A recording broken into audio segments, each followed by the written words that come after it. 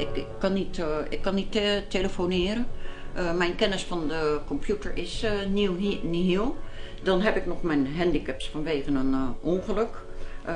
Dan ben ik ook nog eens een keer vrouw. Dan ben ik maar 1,60 meter.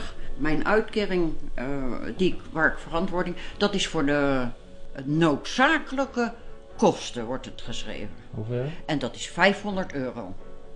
Mijn vaste lasten zijn al de helft zo meer.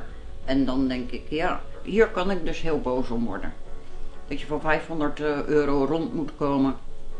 Die mensen geven dat in een weekend uit. Aan een etentje. En jij moet er een hele maand van eten. En eh, daar vind ik in, daar moet je een gulden middenweg in zien te vinden. Dat het voor iedereen veel meer gelijkheid is. Maar mensen worden er ook gelukkiger van. En mensen worden dan ook niet zo boos als je dan vluchtelingen opneemt.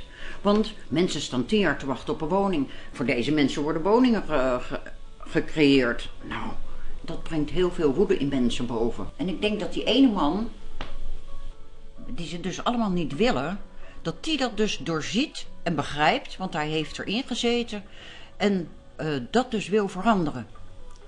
Wilders. En ik zeg het hoor, Wi- Wilders heeft ook niet alle wijsheid in pacht, maar ik denk dat we hem een kans moeten geven.